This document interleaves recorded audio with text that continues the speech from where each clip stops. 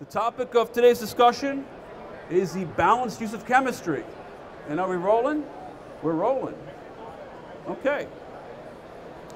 Unfortunately, today, there are a lot of cleaners that only have strong chemicals on their truck. You got to be pH 13. They have to be very strong, very concentrate. Uh, they only want the strongest chemicals. It's like, it's like going hunting for deer and you're only bringing a shotgun. or you're bringing a nuclear missile to go hunt for, for pheasant. Okay, you don't always need the strongest chemical in order to clean a carpet, to clean a tile floor, to clean a, a stone floor, to clean a countertop.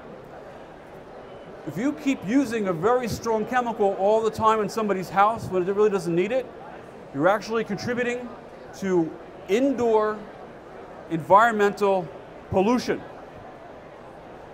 Because what happens is that you're using a strong chemical in the house, the glycol ethers, the butyls are off gassing, and you could be causing a health problem that you may not be aware of. So it's always better to use balanced chemistry. And the topic of today's discussion is try to avoid a redo, right? Redos are very expensive for carpet cleaners. Uh, wicking, things that come back. And many times, wicking is because the carpet was not completely rinsed of chemical. And the chemical acts like a, ma magnet. As the carpet is drying, soil is pulled out of the subfloor and out of the padding, and it, the carpet becomes blotchy. And that's from improper rinsing. So, uh, in this audience today, are we truck mount? I know you're a truck mount user. You have a truck mount, sir? You got a truck mount? So, in your in your chemical jug, what are you using as what's coming out of your wand as you're cleaning? What's the pH of the chemical coming out of your wand? Oh, you just started? Okay. So it's called a chemical jug. It's last step chemical injection. What's, what's your pH, sir? What do you use coming out of your wand? What was that? You never mentioned it? Yeah, the one that comes out? You don't use it? It's using regular water then. Yeah, the rinse, yeah, the rinse. 3.5 acid? Okay, good. And, Todd, you're using what? Using the acid? Good. See, what happens is that a lot of guys are putting detergent in the rinse, and you, it's okay to do that as long as you shock the carpet when you're done. So, say you have a pH 9.5 detergent, but then what they do is they get a heavy detergent like a pH 10 to 11 rinse, and it's coming out of your truck mount like boiling lava at 220 degrees of boiling hot soap. And it does a very good job cleaning.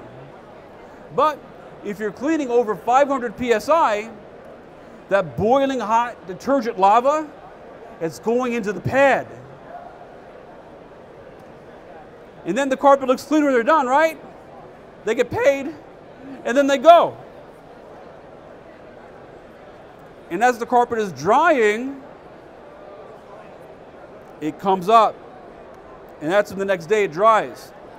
Now, for many years, uh, I work for a franchise. I work for Coit right now. I work for Coit. Uh, I work for ChemDry as well. And ChemDry had the policy that you could not leave until the carpet was dry. Good policy. I use the same policy for myself, even though Coit doesn't force me to do it. Because if when I leave the house, if the carpet's dry, if they call me up to say the carpet has a spot on it, it's you got it. You got it. Miss Cermak, yes. You look different online with your with you. Why is the people that are online, they, they, they have their their their poster ready? This is this is a this is a. You just stand there. He just tries to look good. We all try to look better on Facebook and our LinkedIn profiles. So you have to understand. I'm a Bible guy, and the Bible in the Book of Psalms says all men are liar proof to be. Let God be found true. So Bible's basically saying everybody lies, right? So you have that little old lady, sweet little old lady, she gave you a $10 tip. Says, oh, this spot came back. But you knew left the carpet was dry, unless she killed the cat, the cat came back. Okay? Don't be suckered to drive 50 miles out to do a free spot if you can, okay? Unless she has other jobs for you. That's what I'm trying to say is to use a balanced chemistry, you got to trust the process. And I'm going to tell you a secret. It might get me in trouble. It's going to get me in trouble. You know I'm a troublemaker, right? Say you have a, a, bottle of chemical that says pH 9.5. That 9.5 is at the manufacturer's recommended dilution ratio. So if it says two ounces to a gallon of water, the product will be 9.5. What happens if you put one ounce of the chemical into the gallon of water? Is it still 9.5? No, usually not at that dilution. That is correct. You can, if you have a, a pH 11 product on your truck, and you have a, a fabric that you don't want to go pH 11, but you're like, oh wait a minute, you know, I, uh, I don't have a pH 8 on my truck. I don't have a neutral cleaner on my truck. You could take your pH 10, your pH 11, and cut the dilution ratio in half. And now you have a weaker chemical. Correct. Correct. It still has to be tested, but you can lower the pH of a chemical by diluting it, but you cannot increase the pH of a chemical. So if you if it says two ounces will give you pH 9.5, putting in 10 ounces won't make it any stronger. And that's what leads to wicking and callbacks and over concentration of chemicals. You can make the chemical weaker if you're afraid of a bad effect on the fabric. But don't think you can make it stronger by increasing the concentration. What you're doing is you're making it harder to rinse. And if you're using a truck mount, if that concentrated chemical gets into the, the padding, okay, that padding can cause wicking and then a callback. It also can cause odors. Because you know what, what, what soap does not fix? Mold and mildew. You know you can grow mold on soap? You know how I know there's mold and mildew? Does, the soap doesn't clean it? Because of my shower at home. I have to take bleach to my shower. I get that stuff, uh, stuff, I, the foaming stuff, and I got to do it because there's soap scum on the shower, right? And mold grows on the soap scum. So you soak the carpet with a strong detergent. Let's say there's some mold spores in the carpet.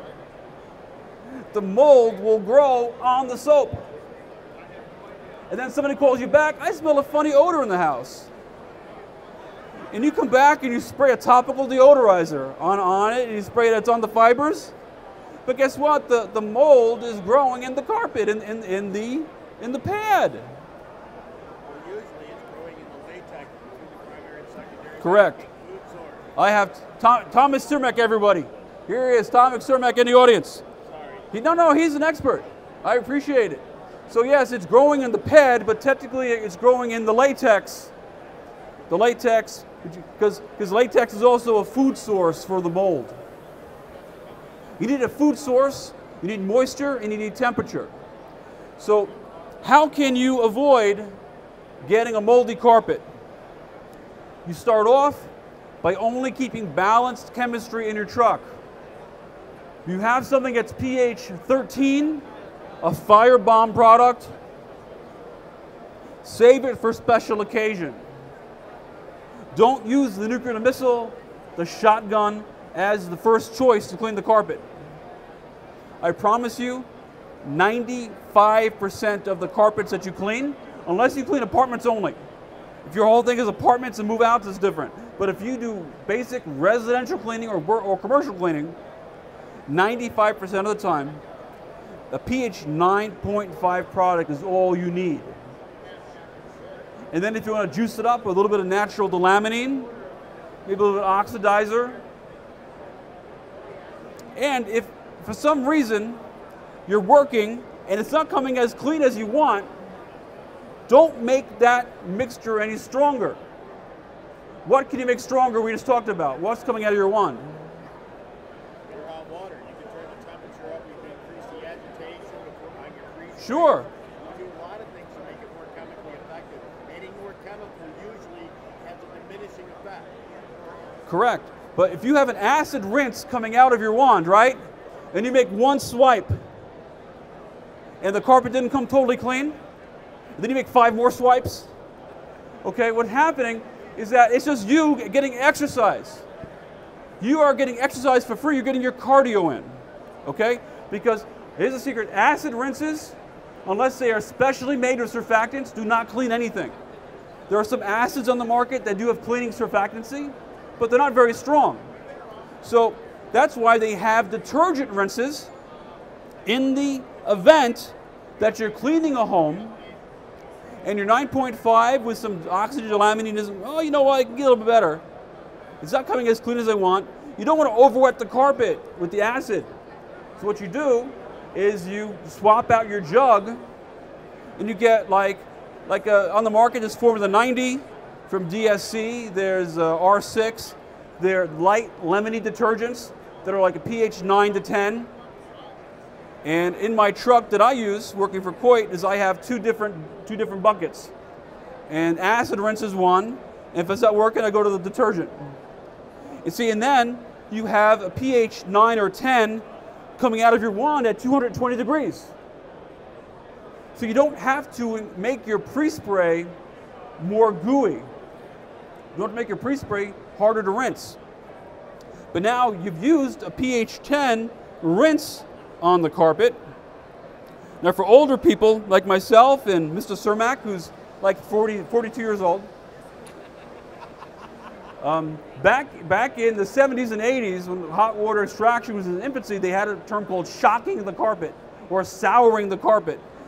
Um, it would almost be like a vinegar-like solution. It almost smelled like, like vinegar. It probably was vinegar. Acetic acid. Acetic acid. It smelled all vinegary, and you'd mist it on the carpet to neutralize the shampoo because they had shampoo machines back in the day. They shampoo the carpet literally. So you'd shock the carpet with a vinegary smelling acetic acid. So today we don't have to have the vinegar odor. So you have acid rinses like all fiber rinse and other rinses that are like a 3.5, like you have 3.5 acetic acid. So after you've extracted at a pH 10 or 9, the carpet is still glowing with a 10 while it's wet. You don't need to use a lot of it. It's a light mist. It's a chemical reaction. You don't need to re-extract the carpet with the acid. You walk through and you have a pump sprayer. You put a light mist on the carpet. You shock the carpet with the acetic acid and then you're done. Then you rake it. Leaves the carpet soft. If you don't have a pH meter and you're worried if the carpet is high pH, if the carpet feels gummy or crunchy, when you finish cleaning, that means you left it behind detergent. That is going to be a callback.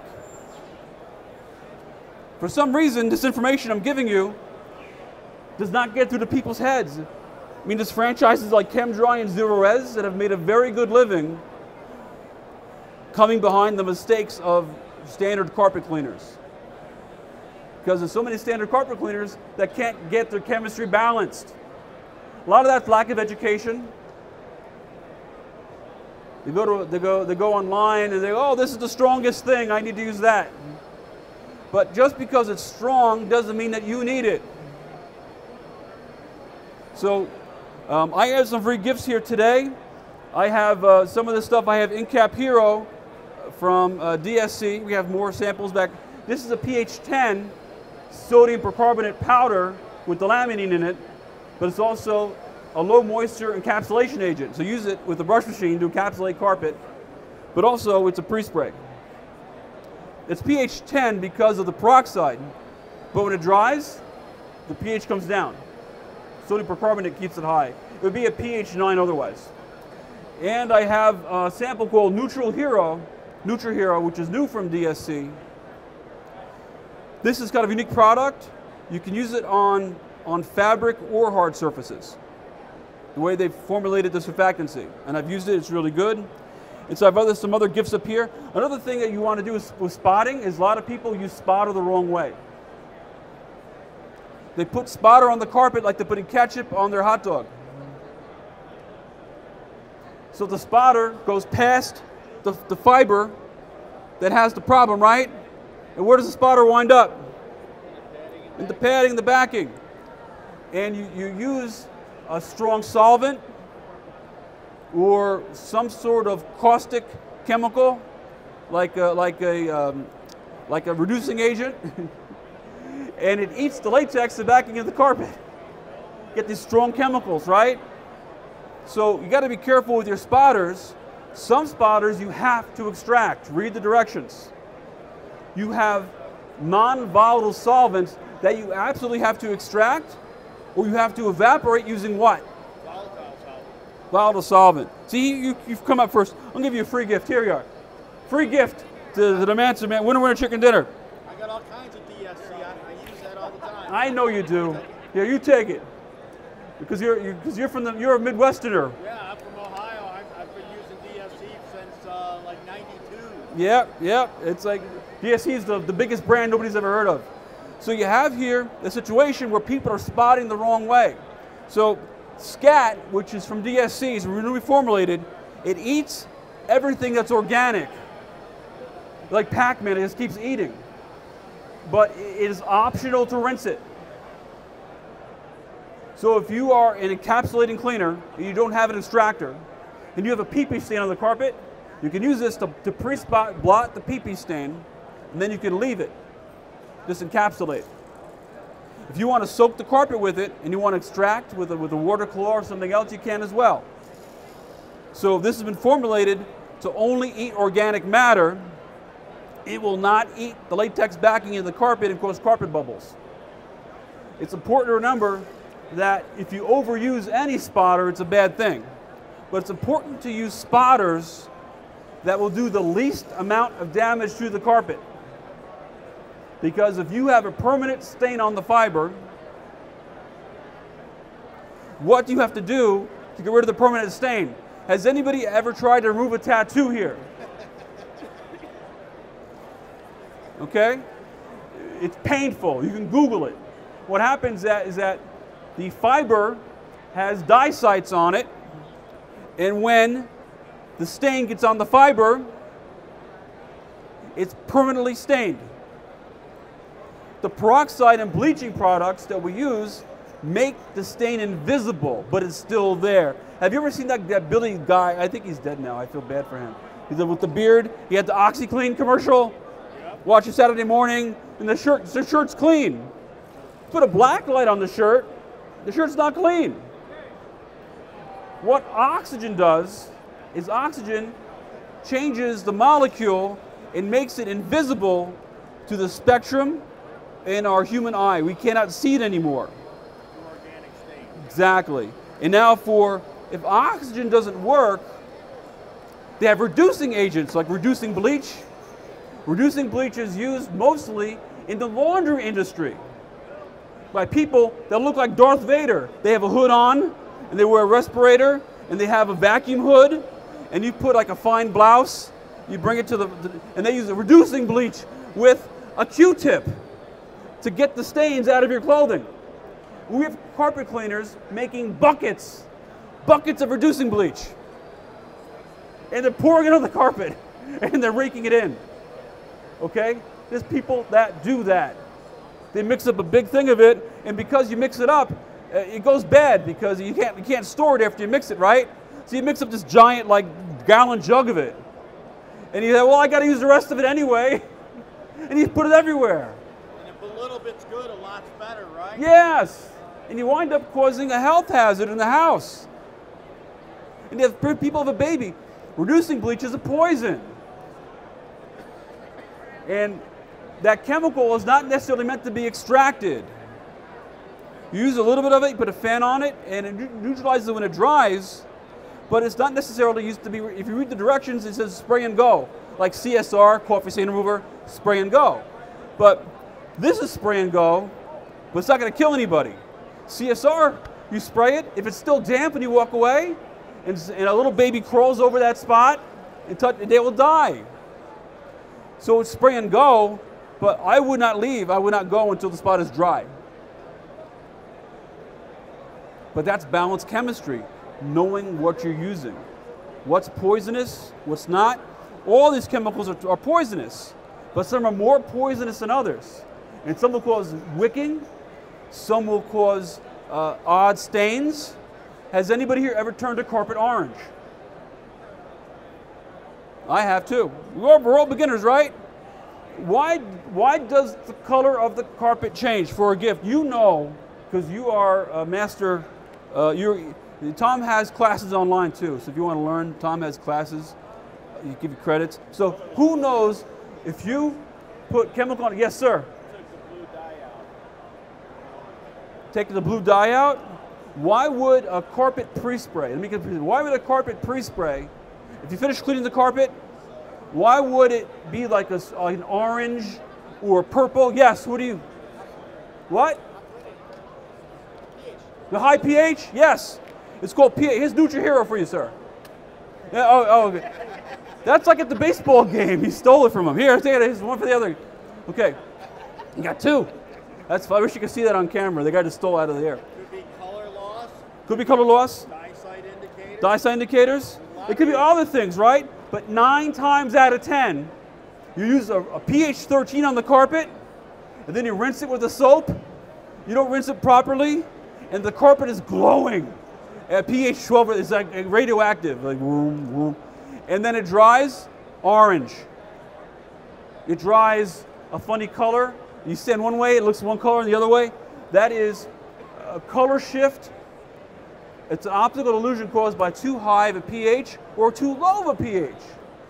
If you uh, use like a tile acid on a carpet instead of a cleaning acid, you're going you're to cause problems, but you'll have a radical color shift because the tile acid is not meant to be used on soft fabrics. So that is a definite callback. That's why I don't leave until the carpet's dry. Because I know I use good chemistry, right? Is there anybody out there, do you have any customers that you are the first carpet cleaner they've ever used? Hey, you're my first. It's okay. Yeah, usually if you're there, it's because the other guy sucked, right? They didn't call him back, he went out of business, right? So you don't know what the other guy used before you. What if the other guy used Tide? Tide pods. Put them in his scrubber, scrub the carpet with Tide, and then extract it with plain water. What do you think is going to happen now that you go there and it's a soiled carpet, but now you hit it with pH 13 and rinse it with a pH 10? What, have you fixed the problem? You've added to the problem. I get lots and lots of phone calls from people that have blotching issues. Well, I used the right chemistry, Rob, what's wrong? I said, you may be using the right chemistry, but what about the guy before you? Or the homeowner? You have to assume that the person before you was a worse cleaner than you and used the absolute worst products the worst possible way. You have to assume that. That's why they're not back. They find Yes, someone else. they can find someone else. 90% So- of the customers that are dissatisfied don't call and complain. They just don't call you back. They don't move on to the next clean. They will. They will. So what happens now is that when you guys are using acid rinse in a pH 9.5, you're less likely to cause issues with the monster hiding in the pad. The Tide Pod, the Simple Green, the blue detergent from the dollar store was an awesome chemical. You guys have that? This is like a California thing. They have awesome, awesome chemical at the dollar store. Orange. Yeah, orange, orange power, orange chemical. The awesome is orange in color here. Oh, it's okay, okay, because it's blue in some cases too. The powder's blue. And what happens is that, does anybody know what the difference is between laundry detergent and carpet cleaning detergent? Right? Because I clean my, I don't clean my clothes with carpet cleaning detergent. Why not? It's like, it's good stuff, right? Why do I use Tide at home? Does anybody know what the term water miscible means? Come on, I got more, I got more gifts here. Come on. Water miscible. Have you ever heard that term? Mixes well with water? Yes, and it's, it's easily rinsable because it mixes well with water. The purpose of carpet cleaning is to use as little water as possible to get the job done, right? Here we go, here's some sizzle. That's why we have more phosphates too than laundry. Yes. So we want to use as little water as possible, right? I use a Glide and I clean it 400 psi. And I have a CDS and I, I average temperatures of 220. It's boiling, I have an acid coming out of my wand. And if at 9.5 it doesn't fix it, I switch to the detergent and I'm good. But here's the thing is that I'm usually in my waste tank for average house, I'm only dumping about 20 gallons of water after a long day. Because a lot of it I'm evaporating with the glide. You don't want to use as much water, you don't want to have 50 gallons of water pass over the carpet. Part of balanced chemistry mean, means you don't have to use a ton of water. So when my wife washes my clothes in Tide, there's like three rinse cycles. My washing machine uses like 100 gallons of water every time I wash something, right? The washing machines flood, flood the fabric, right? We don't flood the carpet. We just want to clean the fiber on the top. Are they cleaning you? To, are, you, are they paying you to clean the pad? No, so don't clean the pad. That's why I'm not against water claws. I have a lot of opinions. Water claws are okay, but if I could get away with doing low moisture cleaning and getting the fiber wet and not getting the pad so wet and leave leave the crap in the pad, I'm okay with that. I'm a cleaner, not a restoration guy. They want to pay me to pull up the carpet and the pad, replace the pad. That's I work for Coit. They do that. You do that too. So Tom does that as well. But here's the point: is that don't make problems for yourself, saying, "Well, I need to do a good job, and I need to soak the pad too." Some cleaners do that. It's like, "Oh, I need to do 800 psi because I want to do a full clean." No, clean with as, as little pressure as possible. I'll tell you what: if you guys are using truck mounts, if you're using as little pressure as possible, your heat will go up. If you're cleaning at 500 to 800 psi, your heat drops off. I don't care what truck mount you have, heat drops off. You pull that trigger and you're cleaning, heat goes down. You clean less than 500 psi, you will maintain 200, 220 all the way. And 220 acetic acid, you are neutralizing all the crap. And if you have a glide, make some dry passes, the carpet is drying an hour without a fan. I do that. That's how I, that's how I work. I don't like putting on fans because it leaves like a funny imprint on the floor. Then I go, I got to walk back across the carpet to go get the fan. So if I can't avoid that, I do. But I like gliding. I'm there. I just do a couple extra dry strokes with the glide, and I'm winding with a drier carpet. But because I'm using 220 degrees of heat, it evaporates quicker. I also ask for ventilation. It's okay. Like here in Vegas, it's hot. I say, don't turn on your AC, but can I turn on the fan and circulate the air until the homeowner, the carpet will dry faster. Also, it'll ventilate the steam and the chemicals. They're like, yes. So it's okay to ask the homeowner to turn on the fan. The fan's not going to cost them any money. It's the AC or the heat that'll do it. So you want to vacate the air as quickly as possible. So I use boiling hot water, pH 9.5 pre-spray chemistry, an acid rinse, a glide, hot water, low moisture. I'm not getting callbacks. So that's the key to success. And if you have employees, don't give them the hot stuff. Put the mild stuff on the truck and or put the hot stuff in the corner and say don't use it break glass if necessary. Don't don't be don't go to that right away. Too many guys are using a shotgun to go hunting for quail. You don't want to use a shotgun on the carpet and blast it. Be a better cleaner, use more finesse. So, uh, is that my time? Uh, is this? Uh, I'm sorry, I, I'm in talking, and I have a bad sense of time. What are we at? We're at. Oh, I got I got five more minutes. I'm doing to 3:30. I got five more minutes. Great. So I'm going to spend a minute talking to you guys about stains, okay? Because balanced chemistry is not just carpet cleaning. You have the stains, How many people here use oxidizers to, to unstain the carpet? Use a sp- oxidizing spray, right? Okay. What is the pH of the oxidizer that you're using? 3.2. Yes, it's very it's a peroxide. It- It'll burn your fingers. Okay? What else does it burn? It can burn the carpet or it can burn the fabric. Okay? If you are cleaning a nylon carpet and you know it's nylon, the IICRC demands a carpet inspection before you clean. They do. If you take Tom's class or Doug Heiferman's class, you've got to disattach the carpet from the wall, inspect the backing, cut it for fiber. Yeah, it's part of the 12 step program. You don't have to disattach. Why don't you just move a heating vent Yeah. and look at the back? I know, I know. But but don't if, want that if hard. the IICRC manual talks about doing a fiber, inspect the backing, whatever. I don't do that because I have, I've been doing it since I was 15, now I'm 55. So I can spot a nylon carpet a mile away. Maybe you can too as owner operators, right? But you have an employee working for you, or you're new to the business, and you have a polyester that is more susceptible because it's a softer fiber more susceptible, or you have something that's like a, like a, like a, like a natural blend, maybe a polyester blend with maybe a silk or poly, like a rayon carpet.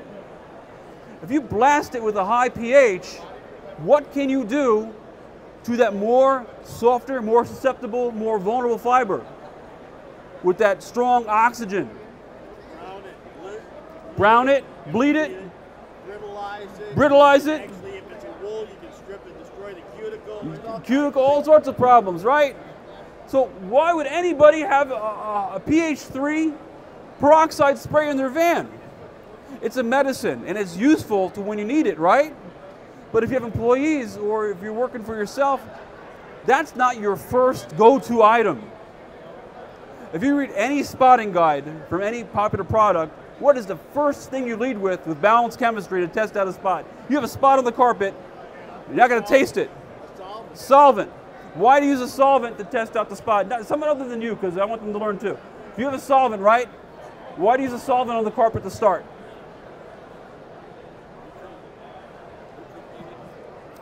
You're technically right in some ways. There is no pH.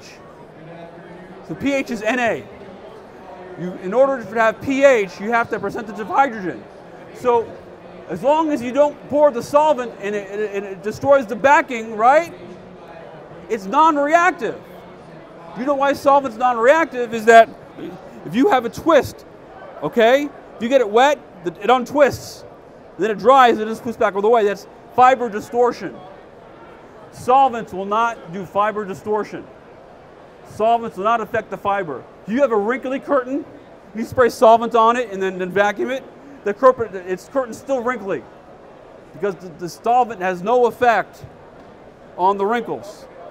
But it eats grease and oil. So if you have it's a, it's a, it's a grease or oil spot or a makeup spot on the carpet, it'll come up with the solvent. If the solvent does not work, then what does it have to be? What's left?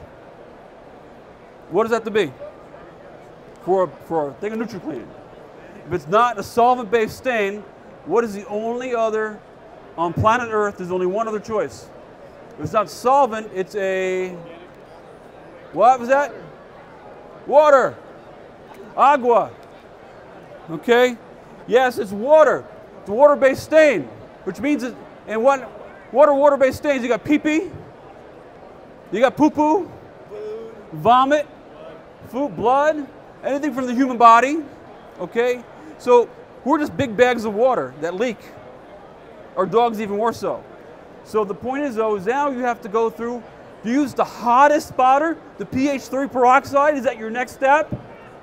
What is the next product you use? Use a neutral product. And if that doesn't work, you have an enzyme product that's more gentle, like a scat. If that doesn't work, then you go to the peroxide. Actually, then you go an alkaline, then acid. Alkaline, that's right. Use the alkaline spotter. Then you- acid should be your last step, the peroxide. But if you put it on your truck And you think, oh, I don't need a whole spotting kit, I just need the peroxide. No. You will, you will, you will buy a couch or a carpet eventually. And you will cause problems. And then you make a bad name for the industry. And you got, you're real smart. That's why we're here. We're smart. I'm not degenerating anybody. But it may seem, because I'm a sales rep, I sell chemical, right? Don't skimp on the spotters. Okay? You need to have five spotters on your truck. You don't need five pre-sprays. But five spotters, a solvent spotter, a neutral spotter, a high alkaline spotter, an acid peroxide, okay?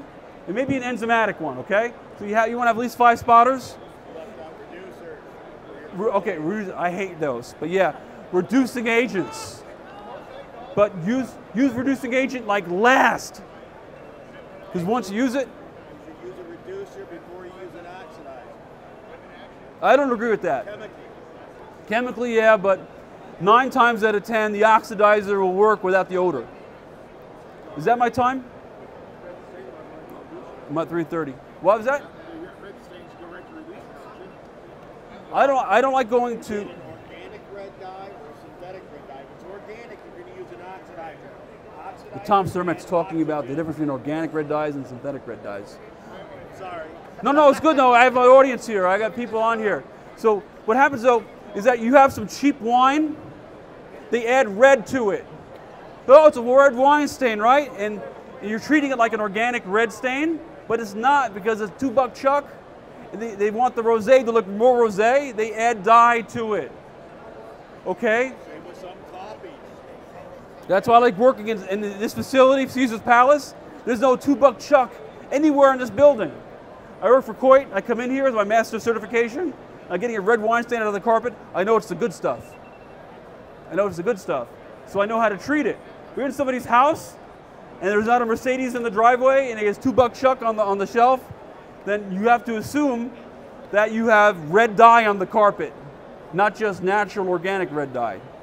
Well, that's my time for today. My name is Robert Falzone. I'll be teaching, uh, uh, teaching tomorrow. Thank you very much, Mr. CMAC. I'll be teaching tomorrow a different topic about add-on services that will not get you in trouble as a carpet cleaner. A lot of, there's a company here, I won't mention who they are to get me in trouble. They're trying to sell roof washing equipment to carpet cleaners. Okay? Don't get out of your comfort zone. Don't, don't start doing stuff that if you fall off the roof, your insurance company's like, what are you doing on the roof? You're a carpet cleaner. Okay, don't do stuff as add-on businesses that are out of your lane. So tomorrow we'll talk about easy add-on businesses that you probably already have the equipment for that you can do to get more dollars out of that house, okay? So thank you for coming. And if you want more samples, come by the DSC booth. I have a discount code at DSC, dscprod.com. It's, my code is ROB10. So if you want to buy any of this stuff and you don't have a DSC dealer in your area, you can use my discount code and use ROB10 to get 10% off any of the products, okay? The SCAT and the NCAP Hero are awesome products. You should check them out. All right? So thank you very much for coming.